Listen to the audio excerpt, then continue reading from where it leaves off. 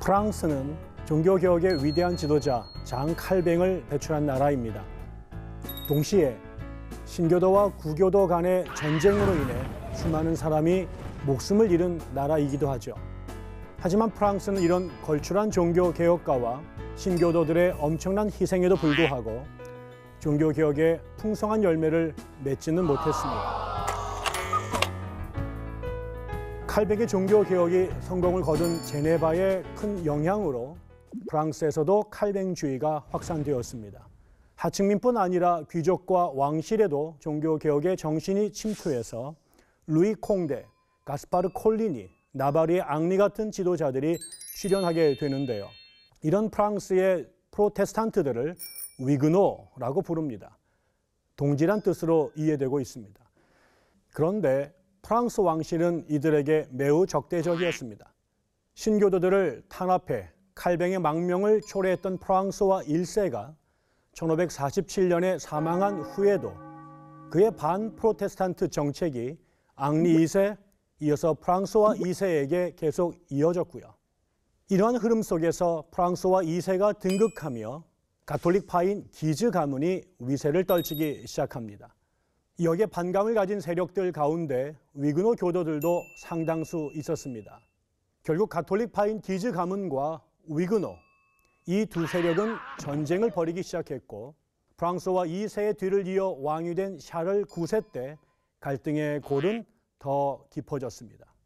샤를 9세는 10살이란 어린 나이로 즉위했기 때문에 그의 어머니인 가트린느 드 메디치가 기지 가문으로부터 자식과 왕실을 보호할 목적으로 위그노들에게 종교적 관용을 베풀었습니다.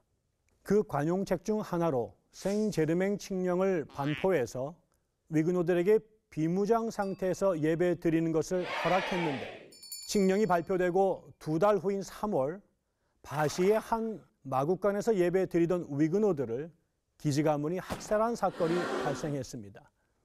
이 사건을 계기로 가톨릭 측은 기즈의 공작 아래 그리고 위그노들은 콜리니 제독의 지도하에 결집하여 전쟁이 시작되었는데 이 전쟁을 소위 위그노 전쟁이라고 합니다.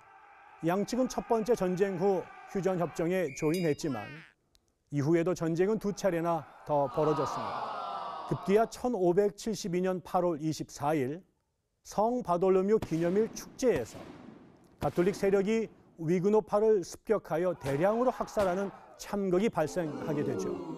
그 결과 8월 24일 그날 파리에서만 3천 명에서 4천 명의 위그노들이 살해되었고 그해 10월 말까지 전국에서 수만 명이 목숨을 잃었습니다.